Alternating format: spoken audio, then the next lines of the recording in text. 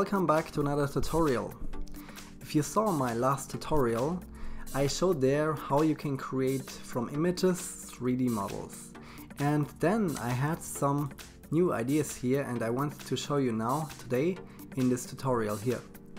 At first I made an image here from Hulk but this time I made him in a base mesh style, okay? So I gave, gave the prompt here, please create a 3D symmetric base mesh from Hulk in ZBrush style, full body view. And then it came out these four images here.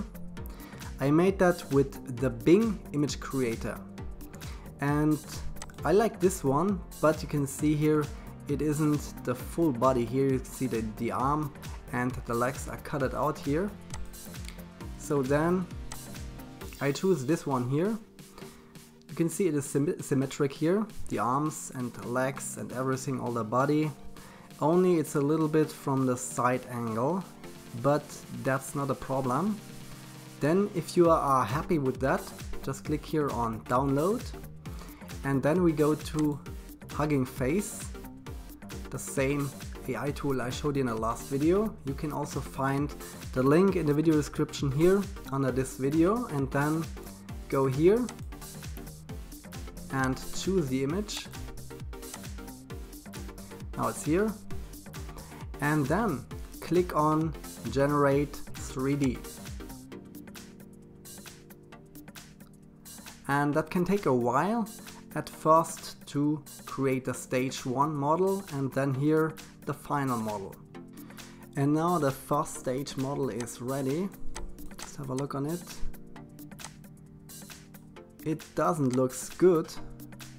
Looks more like a monkey. You can see like a gorilla. But okay. We have to wait for the final stage model. But my idea behind of that is to create only the model in the base mesh style. That's why I choose the image in the base mesh because it is uh, the quality is much better I think. I just have to try it out and in this base mesh we don't need any textures like that okay because we want to edit the we want to edit the 3D model in Blender or in ZBrush. It's just a basic model and we want to make it more smooth and model more details in ZBrush or in Blender. And for that I think we don't need any colors or any textures on it. But let's wait for the final stage. And now we got the final stage model here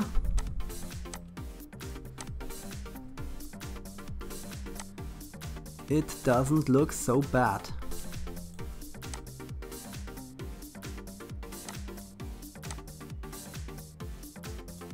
Okay, I have a few things like like that here, there you can see. But okay, it's not a problem. You can see a lot of details here. And this is a great base mesh to start modeling.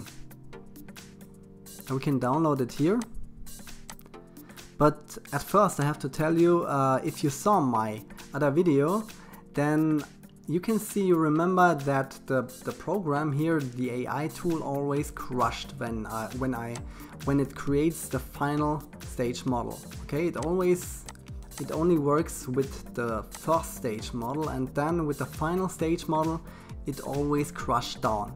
And not only in the video, I tried many times again and it crushed directly.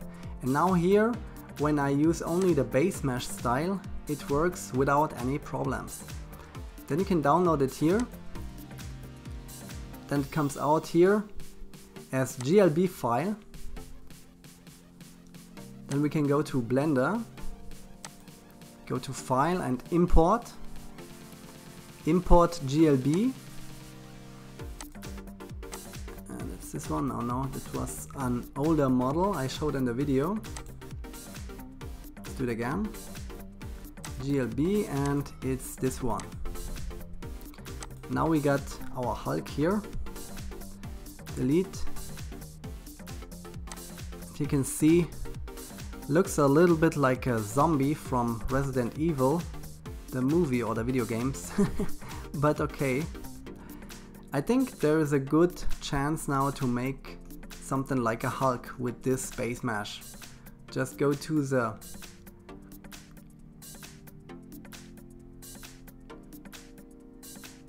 just go to the sculpt mode here. And then you can start editing the character example here and go to smooth. This area here